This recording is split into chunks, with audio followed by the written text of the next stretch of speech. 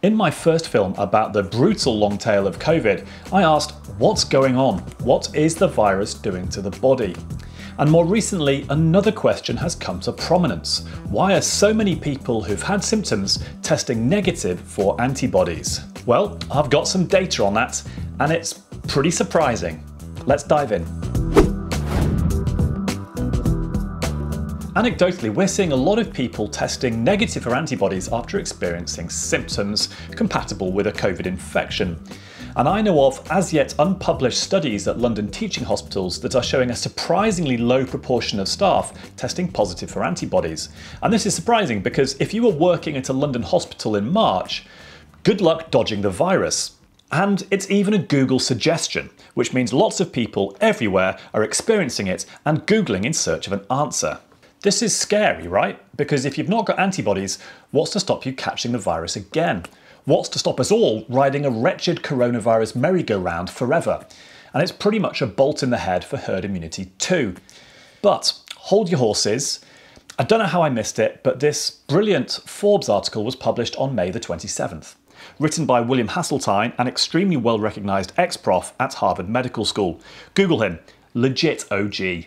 Anyway, he discusses the way the body reacts to the SARS-CoV-2 virus. Essentially, upon infection, there are two major immune responses the body typically has. An antibody response, also known as a lymphoid response, and a cell-mediated response, also known as a myeloid response. What is this myeloid response? Well, Myeloid cells attack the virus and the infected cells directly.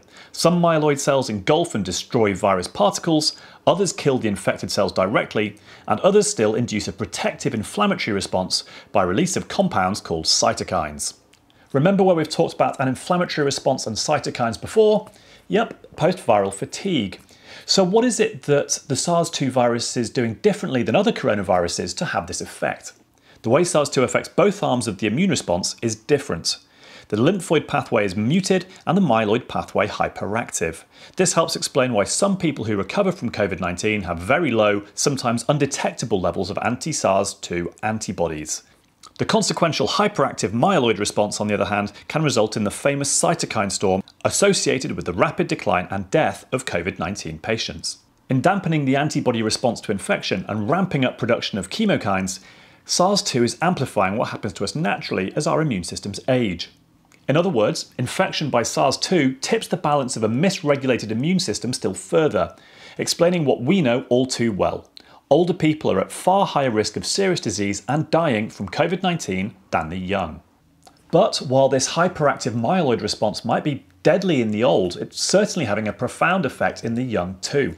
My feeling is that this is what we're seeing with the people out there, the 1 in 10 still suffering brutal fatigue well after a COVID infection and potentially the long tail of symptoms too. All seems to kind of make sense, right? But science needs more than just sense, it needs evidence. So let's take a look. Researchers at the Rockefeller University in New York looked at blood plasma samples from 149 patients they discovered that most people who recover from a COVID infection generate a weak antibody response to SARS-2.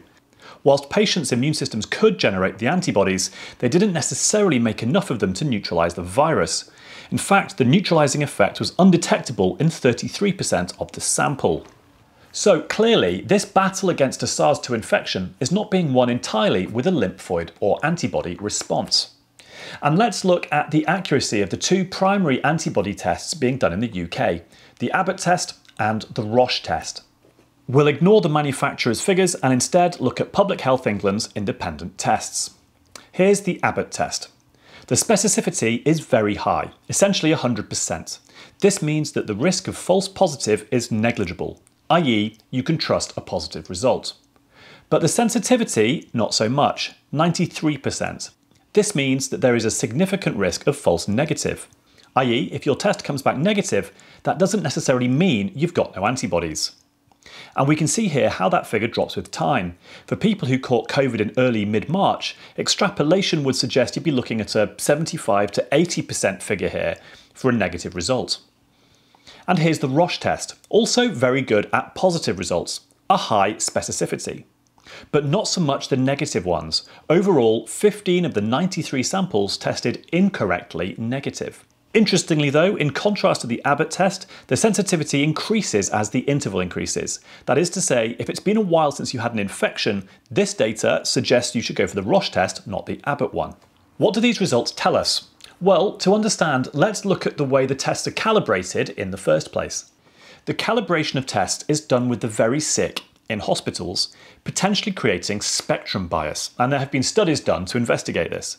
That means that the level of tolerance in these tests may not be set in the right place for those with more mild conditions, especially if those tests are done several weeks after the initial infection when antibody levels are starting to decline. Here's a graph of how the IgG antibody level declines over time. In some of these people, it may be declining under the test threshold that's been set too high due to the initial calibration using extremely sick patients.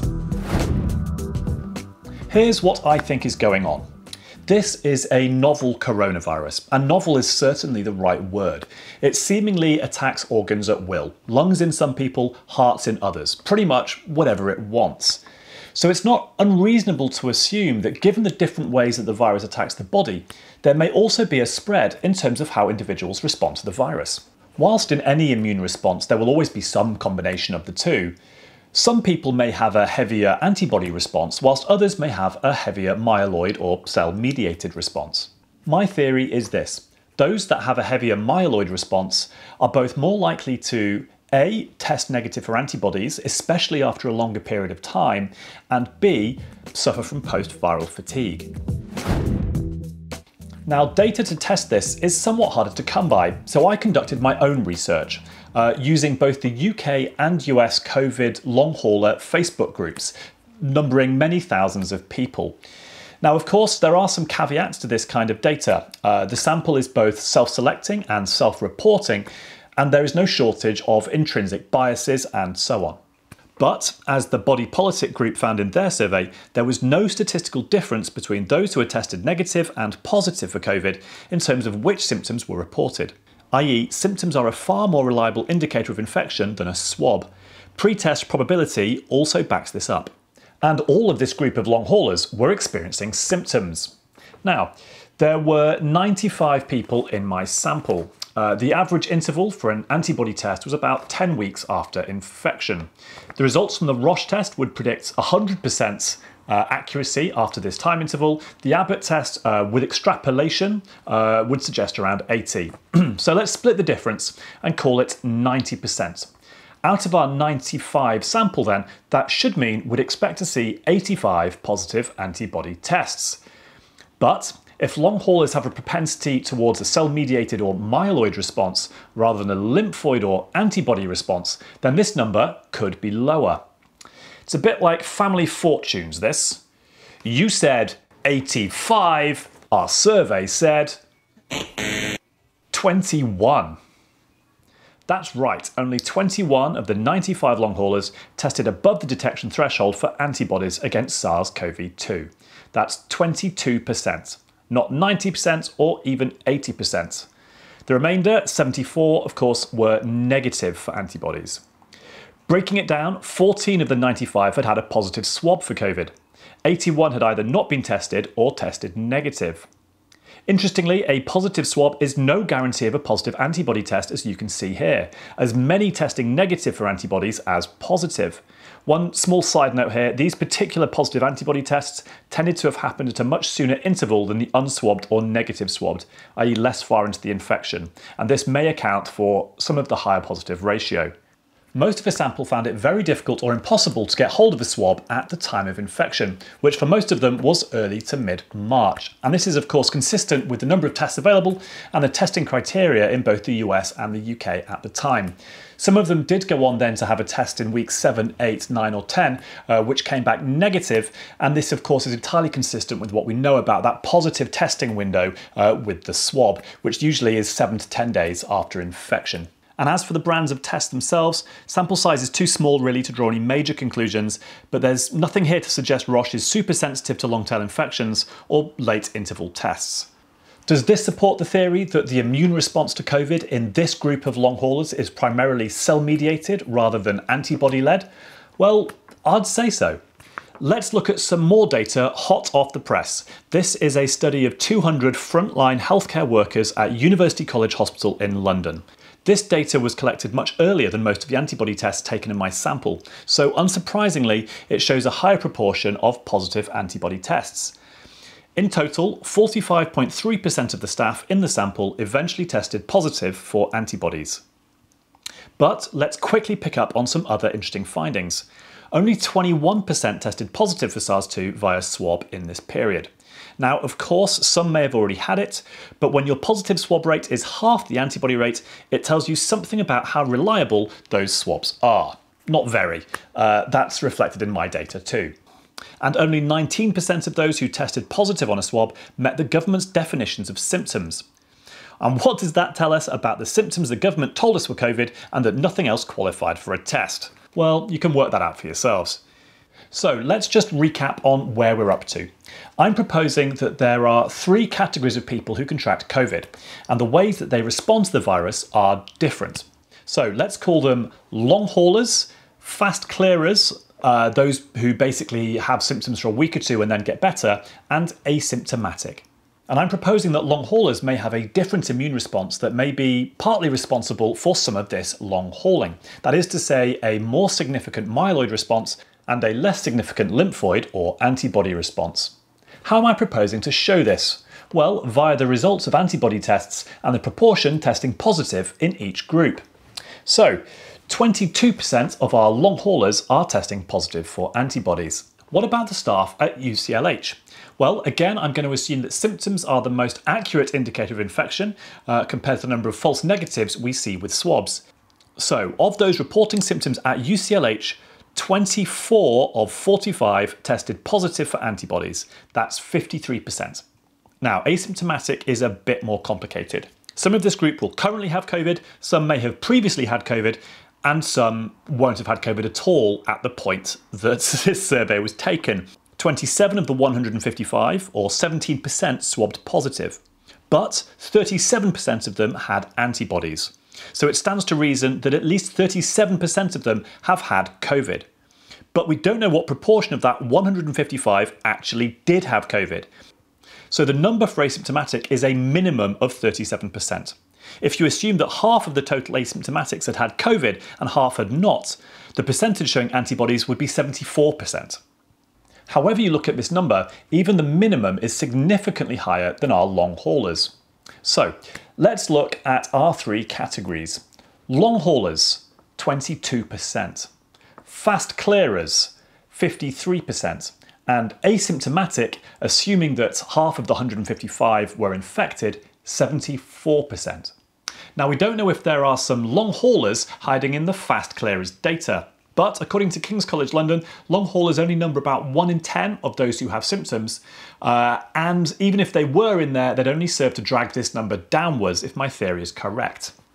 It's kind of interesting, huh? But it does, of course, raise more questions. What does a negative antibody test mean regarding possible immunity and reinfection? That's a bit harder to answer right now. William Goldman, the famous novelist and screenwriter, once said of the movie business, nobody knows anything. And the same could almost be said of the current understanding of what COVID does to the body. All we can really do is to trawl the data as we get it and try and learn what we can. Now, I doubt my study is going to make the Lancet or BMJ, but I think it certainly deserves further investigation. I'd love to see a larger, cleaner dataset, especially when it comes to the category of positive swabs. Not that that particularly affects my opinion over whether someone's had COVID or not, but it makes the data harder to argue with. Perhaps as we start to see more studies getting published, we'll find that data out there. There's also no distinction in my study between those who've had ongoing viral symptoms and those who are suffering something closer to post-viral fatigue. Post-viral fatigue has previously been connected to this hyperactive immune response or cytokine storm, so that makes sense. But what's going on with these mad, ongoing, more viral type symptoms? Is the virus still active in the body, or is the body maybe reacting to damage caused by the virus? We just don't know. At least the condition is starting to get a little bit more attention. Here's Professor Williams from King's College London. It may be that people having this overactive inflammatory response are also at greater risk at getting viral fatigue with COVID, and that's one of the things we're going to look at. Chronic fatigue is overlooked in general medical training, although a new online training module has been devised recently. Doctors have traditionally been very poor at dealing with this. Now it's more important than ever that they are educated about it. I think we'd all agree about that. So, for now, all we can really do is look after ourselves, but I hope it's slightly reassuring when a clearer picture starts to emerge. It's just a question of waiting for the data. Until then, if you've got any antibody test result stories you'd like to share, then let's start a discussion in the comments, and perhaps we can start to get a slightly fuller picture. Till next time.